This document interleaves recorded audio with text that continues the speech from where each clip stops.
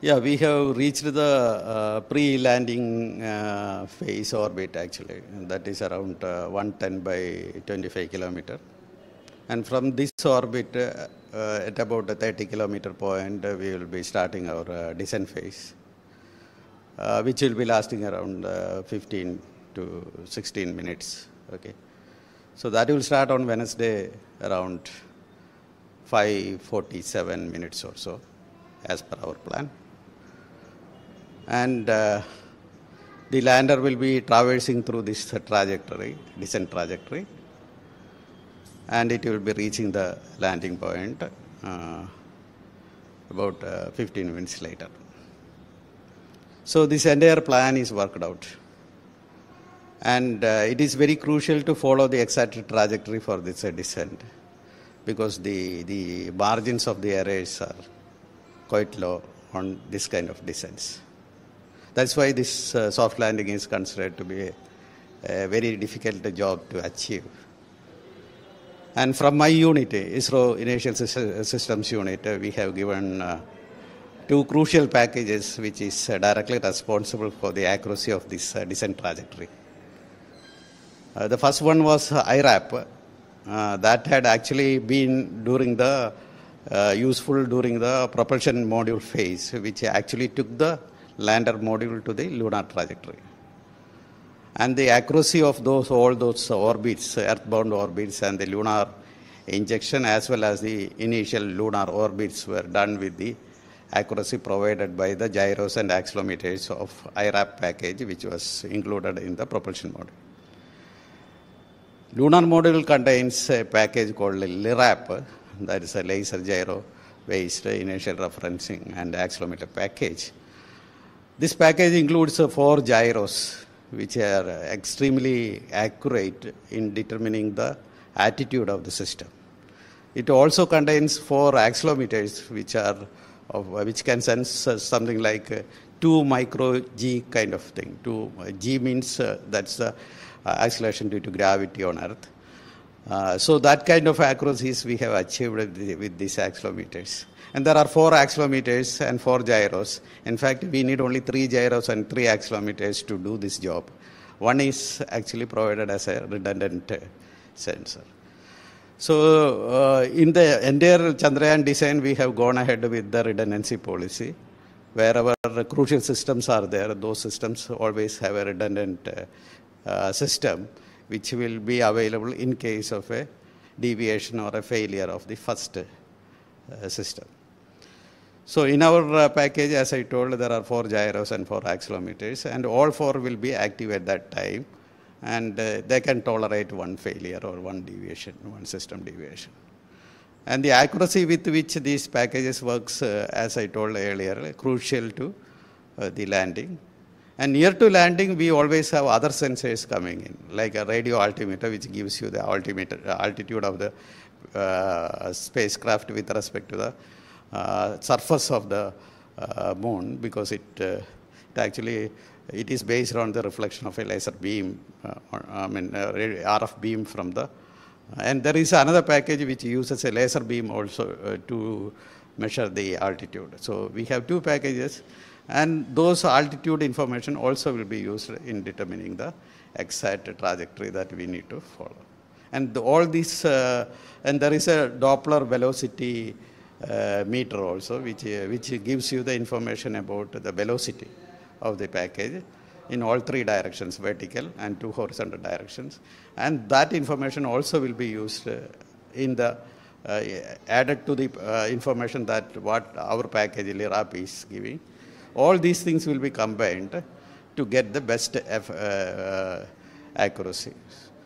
So uh, we are all so proud uh, that my team is uh, so proud that, uh, and we are uh, looking at its performance of that package uh, very closely in order to uh, make sure that uh, its health is exactly good and its performance is as expected. How the experience of Chandrayaan 1 and Chandrayaan 2 helped while designing this package? Yes, hugely, because Chandrayaan 1 was our first uh, attempt. At that time, lot of things were not known to us, and we depended uh, on information available uh, elsewhere to decide on the, that uh, mission. In fact, it was an orbital, lunar orbital mission primarily, with a, a moon, moon impact probe also included. Okay. Uh, and Chandrayaan 2, when it came, we attempted the next big step, that is soft landing. Okay. Uh, generally, people take a few orbiter mission to reach the soft landing stage, but we straight away went from an orbiter mission to a landing mission in Chandrayaan 2. And at that time also, we didn't have much information about uh, many of the things, uh, especially the lunar gravity model, the lunar map. All those things were uh, not fully known to us. But the Chandrayaan 2 orbiter was more than 100% uh, successful. It is actually, the, we have an OHRC, a very high resolution camera there, which allowed us to totally uh, map the lunar surface. And uh, we have our own maps of uh, lunar surface. The India has the entire uh, lunar surface mapped on our own, and we have very good uh, resolution, better than 50 centimeter kind of resolution we have for these maps. And uh, so that information actually helps us to decide upon our landing area and the and even, uh, the the craters and the unevenness of those area, and to choose the right area to land. And we have more information about the gravity of the the moon, because the gravity of moon is very complex compared to the Earth gravity. Um, gravity of the moon is uh, very complex because it doesn't have a molten core, in fact. So it's more like a solid. Uh, uh, uh, I mean, planet actually. So its uh, gravity model is actually fairly complex. So we have a very good uh, idea about those models now.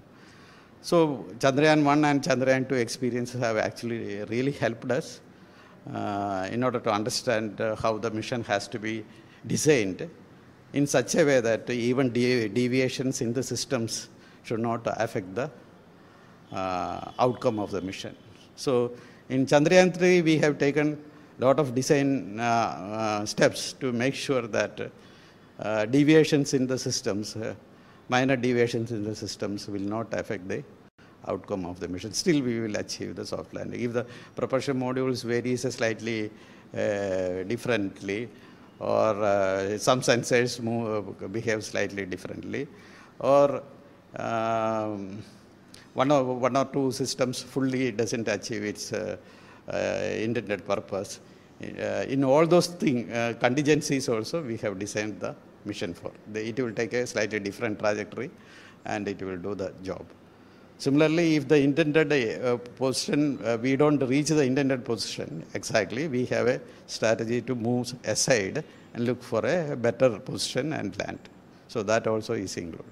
All these, uh, all this uh, wisdom about doing this mission in a better way has come out of the experience from Chandrayaan 2.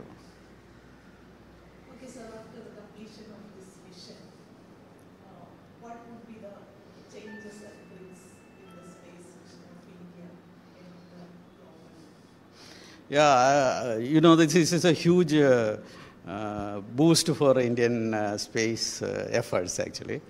We are all uh, looking at it very proudly. Uh, you know that every Indian is so proud of it, you know, and anxiously following it up every, every half an hour. They are looking at what is happening to Chandrayaan 3.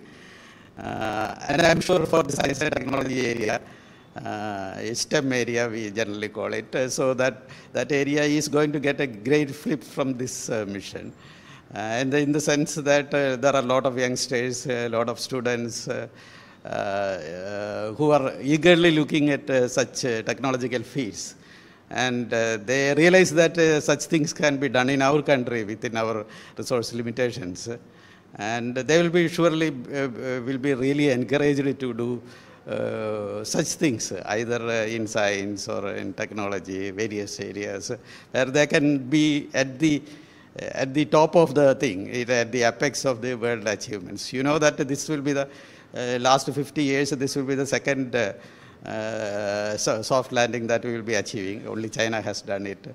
The other missions, whatever that the US and uh, Russia has done, uh, erstwhile Soviet Union has done is almost 50 years back. And the last 50 years, this is the second, uh, India is the second country who is, uh, uh, who will be achieving this. So I think it will be a very proud moment and it will give a great uh, uh, impetus to our uh, uh, scientific temperament. From breaking news, detailed analysis, in depth interviews, and explainers, follow the Times of India. Subscribe to our YouTube channel. Don't forget to like our videos and hit the bell icon to stay updated with the latest.